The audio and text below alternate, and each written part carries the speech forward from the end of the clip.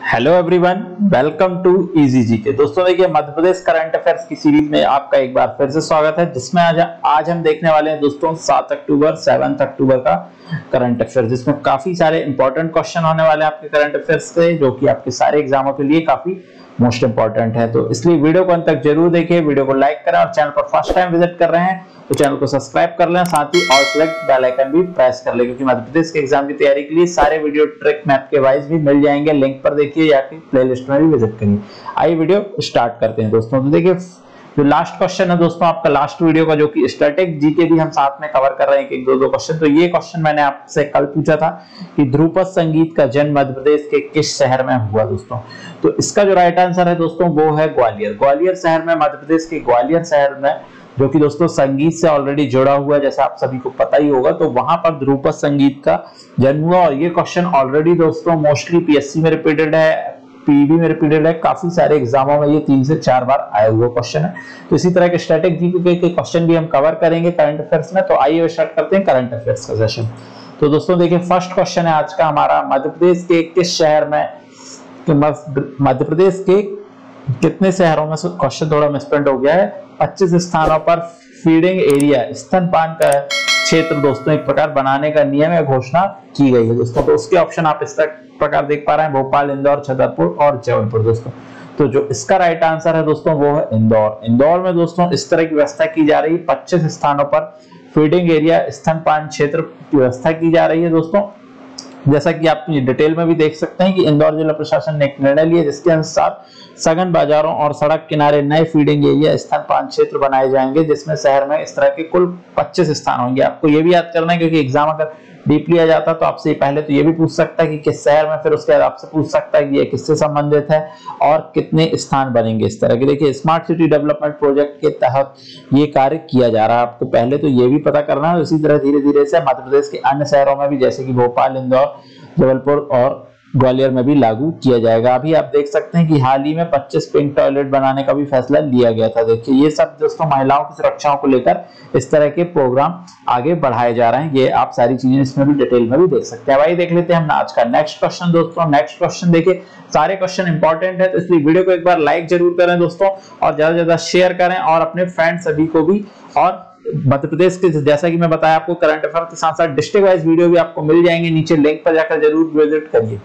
देखिए next question है, हाल ही में मध्य प्रदेश उपचुनाव में किस मॉडल के ईवीएम मशीन का प्रयोग किया जा रहा है? देखिए मोस्टली रिपीट क्वेश्चन है क्वेश्चन के चांसेस हैं आने के, क्योंकि ये काफ़ी इंपॉर्टेंट क्वेश्चन हो जाता है। जैसा आप सभी को पता है कि अभी उपचुनाव हाल ही में तो अभी मॉडल इस बार चेंज कर दिया गया है दोस्तों। तो इस बार यूज़ किया जा रहा है राइट आंसर है एम थ्री M3 मॉडल का जो ईवीएम है दोस्तों, वो यूज़ किया जाएगा इस बार के उपचुनाव में। और इसकी खासकर व्यवस्था ये है दोस्तों कि इसमें दोस्तों जो आपकी बैटरी होती थी, जो पहले यूज़ होता था दोस्तों चुनाव में, वो होता था M2 मॉडल का यूज़ होता था ऑप्शन सेकंड बट अब M3 यूज़ करेंगे तो इसमें फ़ायदा ये है कि इसकी जो बैटरी दोस्तों बैकअप वो एक डिस्प्ले होगा तो बैटरी दिखाएगी, बैटरी को चेंज किया जा सकता है। तो इन सारी चीज़ों से दोस्तों ये हेल्पफुल हो जाता है, काफ़ी और ये लाइट वेट भी रहेगा, जो इस बार का मॉडल रहेगा मशीन का। तो ये इन सब कारणों से अब इस बार चेंज किया गया तो होप ये क्वेश्चन आ सकता है, क्योंकि मोस्टली इस तरह के क्वेश्चन उपचुनाव से रिलेटेड आपको मोस्टली देखने को मिलेंगे और ये क्वेश्चन काफ़ी इंपॉर्टेंट है। अब आइए देख लेते हैं। नेक्स्ट क्वेश्चन दोस्तों। नेक्स्ट क्वेश्चन जैसा आप देख पा रहे हैं कि राष्ट्रीय कोच बने विनय मुकाती मध्य प्रदेश के किस ज़िले से संबंधित हैं दोस्तों? तो इस तरह के क्वेश्चन भी आपको सभी को पता होगा कि स्पोर्ट्स रिलेटेड काफ़ी क्वेश्चन और ऐसे क्वेश्चन आते ही खासकर संबंधित स्थान या ज़िले से। तो देखिए, विनय मुकाती दोस्तों, ये किस ज़िले से है? क्योंकि ये हाल ही में अभी इन्हें राष्ट्रीय कोच नियुक्त किया गया है। तो ऑप्शन है देवास, रीवा, धार और भोपाल। तो राइट आंसर है दोस्तों, धार। धार डिस्ट्रिक्ट से इनका संबंध है विनय मुकाती का। राष्ट्रीय खेल प्राधिकरण धार धार में शहर के विनय मुकाती को राष्ट्रीय कोच बन गए हैं दोस्तों। विनय मुकाती राष्ट्रीय कोच बनने वाले मध्य प्रदेश के और धार के ये पहले खिलाड़ी है दोस्तों। क्योंकि मध्य प्रदेश से ऐसा कोई पहला है जो राष्ट्रीय कोच बन रहा है, इसलिए आपको इनका नाम मोस्टली याद करना और तीन दशक में वे तीन साल में वे 350 से अधिक बच्चों को भी ट्रेनिंग दे चुके हैं। तो इसलिए आपको याद करना है कि ये मध्य प्रदेश के पहले खिलाड़ी हैं जो कि राष्ट्रीय कोच बने हैं। अब आइए देख लेते हैं नेक्स्ट क्वेश्चन दोस्तों, सारे क्वेश्चन इंपॉर्टेंट हैं तो वीडियो अच्छा लगे तो लाइक ज़रूर करें शेयर करें और चैनल को सब्सक्राइब भी कर लें। देखिए, हाल ही में मध्य प्रदेश ने रबी फ़सल के लिए रबी फ़सल की बुआई के लिए कितने लाख टन बीज प्रदान करने की घोषणा की है दोस्तों? की जैसा कि अभी आप सभी को पता होगा तो इसका जो राइट आंसर है दोस्तों, वो है आपका 15 लाख टन। तो इससे दोस्तों ये है 15 लाख टन रबी फ़सल के लिए, इसलिए क्योंकि दोस्तों जिस तरह से मध्य प्रदेश इस बार भी रबी फ़सल, गेहूँ की फ़सलों में स्पेशली अपना स्थान प्रथम स्थान पर रहा। उसी तरह दोस्तों अब नेक्स्ट ईयर 2020 और 21 में भी उत्पादन की उर्वरकता को अधिक बढ़ाने के लिए किसानों की ज़रूरत से 8 परसेंट अधिक इस बार बीज प्रदान किया जाएगा, जिससे दोस्तों फिर से एक बार मध्य प्रदेश प्रथम स्थान पर आ सके। जैसे आप सभी को पता होगा कंटिन्यू कृषि कर्मठ अवार्ड भी मध्य प्रदेश को तीन बार तक मिल चुका है तो उसी के लिए ये एक गवर्नमेंट की पहल है इस तरह की, जिससे कि मध्य प्रदेश फिर से 2020-21 में भी अपना स्थान बनाए रखे। तो आइए अब देख लेते हैं। नेक्स्ट क्वेश्चन दोस्तों।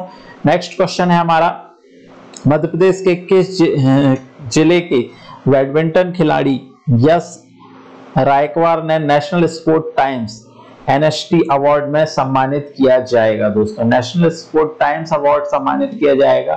तो ये खिलाड़ी का पहले तो आपको नाम याद रखना है, फिर वो किस ज़िले से संबंधित, क्योंकि क्वेश्चन आपके तरह तरह से बन सकते हैं। और साथ ही, दोस्तों, इनका संबंध किस खेल से देखिए, बैडमिंटन खेलते हैं, यस, रायकवार हैं, और इनको अवार्ड कौन सा मिल रहा है? National sport times. तो इसके साथ ही अब इनका जो राइट ऑप्शन है दोस्तों, वो भी हम देख लें। राइट आंसर है इसका भी धार। जैसे पहले भी उनका धार था, इससे आपको धार से याद रखना है कि जो बैडमिंटन से रिलेटेड है रायकवार और इनको नेशनल स्पोर्ट मिलेगा और अवार्ड का जो दोस्तों आप देख लेते हैं डिटेल में कि धार के बैडमिंटन खिलाड़ी यश रायकवार को, इनका नाम आपको याद रखना है। यश रायकवार को नेशनल स्पोर्ट टाइम्स अवार्ड सम्मानित किया जाएगा। यह अवार्ड राष्ट्रीय व अंतर्राष्ट्रीय उपलब्धि के लिए मिलेगा। 11 अक्टूबर को नेशनल स्पोर्ट टाइम्स द्वारा भोपाल में 25वें अवार्ड समारोह में यह एनएसटी अवार्ड में नवाजा जाएगा। और नेशनल स्पोर्ट टाइम भोपाल को भोपाल की स्पोर्ट्स मैगजीन है, उसके द्वारा यह दिया जा रहा है, आपको ये भी याद रखना है। और यह संस्था पिछले 24 सालों से ऐसे खिलाड़ियों को सम्मानित कर रही है, जो राष्ट्रीय अंतर्राष्ट्रीय स्तर पर देश प्रदेश का नाम किया हो। तो आपको पहली चीज़ तो याद रखना है कि अवार्ड कौन सा और ये कहाँ से भोपाल से दिया जा रहा है। ये सारी चीज़ें इंपॉर्टेंट हो जाती हैं आपके आने वाले एग्ज़ाम के लिए, क्योंकि स्पोर्ट्स मध्य प्रदेश के एग्जामों में काफ़ी ज़्यादा क्वेश्चन आपको देखने को मिलते हैं। जैसा आप सभी को भी पता होगा, अगर आप प्रीवियस ईयर के paper continue PSC SI MP police या जनरली पीवी पीवी के पेपर दे रहे हैं। दोस्तों, अब हम बात कर लेते हैं आज का क्वेश्चन ऑफ़ द डे जैसा आप देख पा रहे हैं मध्य प्रदेश शासन द्वारा प्रकाशित मध्य प्रदेश संदेश का प्रकाशन कहाँ से होता है? दोस्तों, ये आज का क्वेश्चन ऑफ़ द डे है। इसका राइट आंसर आपको कमेंट बॉक्स में करना है, जैसा आप ऑप्शन में देख पा रहे हैं, रतलाम, ग्वालियर, इंदौर, भोपाल, दोस्तों। तो ये था आज का सेशन दोस्तों। सेशन कैसा लगा? कमेंट के माध्यम से ज़रूर बताएँ और करंट अफेयर्स की इसी तरह की सीरीज़ और मध्य प्रदेश के और अधिक रोचक वीडियो के लिए चैनल को सब्सक्राइब कर लें। साथ ही ऑल सेलेक्ट करके बेल आइकन भी प्रेस कर लें ताकि आने वाले वीडियो का नोटिफिकेशन आपको जल्द से जल्द मिल सके तो थैंक यू वंदे मातरा